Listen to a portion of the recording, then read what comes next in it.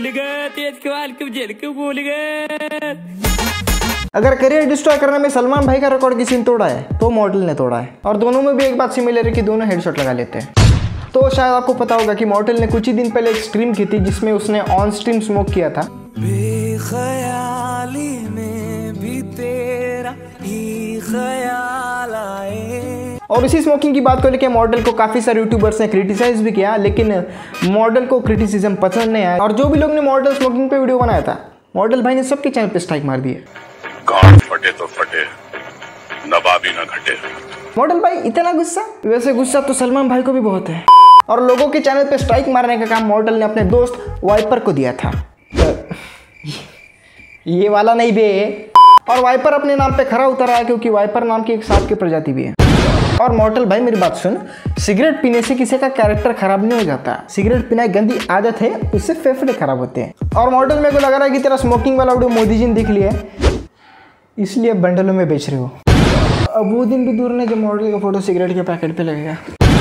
और भाई इतने से क्लिप पे इतना ज़्यादा ओवर एक्ट करने की क्या ज़रूरत थी भाई? तेरे को मुकेश के साथ रिप्लेस नहीं करने वाले थे। ये मॉडलेश की कहानी। और मॉडल सही में सिगरेट ही थी ना?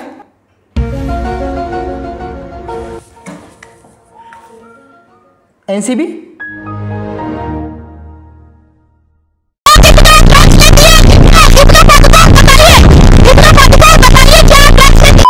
और मॉडल एक बात दिमाग में डाल ले अगर तुम ऐसी फ़ील्ड में काम करते हो जहाँ पे तुम्हें लाखों लोग पहचानते हैं तो तुम्हें क्रिटिसिज्म झेलना पड़ता है। ऐसा कोई भी बड़ा आदमी नहीं जिसको लोग क्रिटिसाइज नहीं करते लोग मोदी जी को भी क्रिटिसाइज करते हैं लोग एम एस धोनी को भी क्रिटिसाइज करते हैं लोग technical Guru ji is not a strong device. इसका मतलब ये तो नहीं है वो लोग बुरे हो गए। भले वो तीन नंबर वाला हिपोक्रेट है। मॉडल एक बार कॉपीराइट लॉ। सुन ले copyright disclaimer under section 107 of copyright act 1976 allows is made for fair use for purpose such as criticism criticism criticism comment reporting blah blah blah blah word ध्यान मेरा criticism मतलब YouTube पे हम किसी और का कंटेंट क्रिटिसिज्म एजुकेशनल या फिर कुछ और पर्पस के लिए यूज़ कर सकते हैं, लेकिन उसकी भी यूट्यूब पे लिमिट है और वो है थर्टी परसेंट मतलब अगर आपका दस मिनट का वीडियो है, उसमें से तीन मिनट का आप औरों का कंटेंट यूज़ कर सकते हो फेयर यूज़ में आता है तूने और तूने जितने चैनल पे स्ट्राइक मारे, उनमें से कई सारे वीडियोस फेयर यूज़ में आते होंगे। तो चल उनका छोड़, तूने तो उनका सत्यानाश कर ही दिया है, अब तेरे पर नज़र डालते हैं। तू एक गेमिंग स्ट्रीमर है, बराबर? तो गेमिंग स्ट्रीमर का मतलब होता है कि भाई जो अलग अलग गेम जी हाँ अलग अलग गेम खेल के लोगों का एंटरटेनमेंट करे। और तेरा चैनल देखे तो।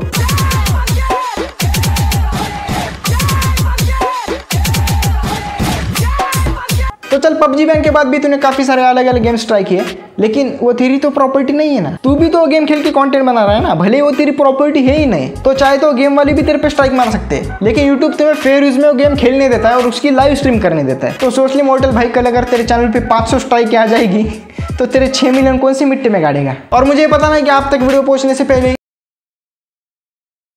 नहीं मॉडल तू मार स्ट्राइक साले तू मार स्ट्राइक मेरे को भी ट्विटर पे ट्रेंड होना है। जस्टिस फॉर सुराखो मैं भी अलगार निकालेगा।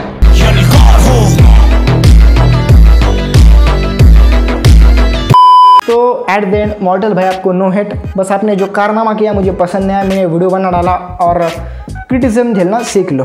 वीडियो पसंद आई तो लाइक मार देना। अगर मॉडल का फ़ैन कोई ऑफेंड गिफेंड हो गया तो भाई डिसलाइक मार दे, क्या कर लेगा? तो मिलते हैं नए वीडियो में नए टॉपिक के साथ। तब तक के लिए पीस और हाँ हाँ। मॉडल अच्छा है कि तेरे को क्रिटिसाइज करने पे तूने सिर्फ़ स्ट्राइक ही मारी है? हमारे यहाँ पे घर तोड़ देते हैं। हो।